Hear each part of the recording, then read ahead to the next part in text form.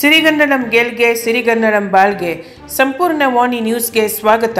ನಮ್ಮ ನಡಿಗೆ, ವಾಸ್ತವದ ಕಡೆಗೆ. ಇದು ನಿಮ್ಮ ದನಿ. ನಾನು ನೀತಾ ಬೋಪಯ್ಯ.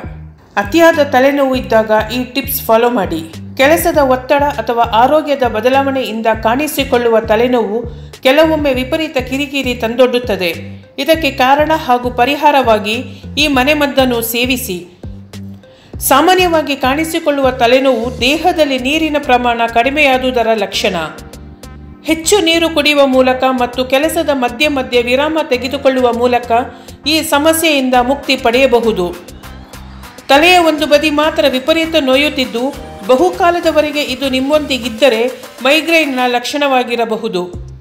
ಆಲ್ಕೋಹಾಲ್ನಿಂದ ದೂರವಿರುವುದು, ಸಮಯಕ್ಕೆ ಸರಿಯಾಗಿ ಅನ್ನಹಾರ ಸೇವಿಸುವುದು ಮತ್ತು ವೈದ್ಯರನ್ನು ಸಂಪರ್ಕಿಸುವುದೇ ಇದಕ್ಕಿರುವ ಪರಿಹಾರ.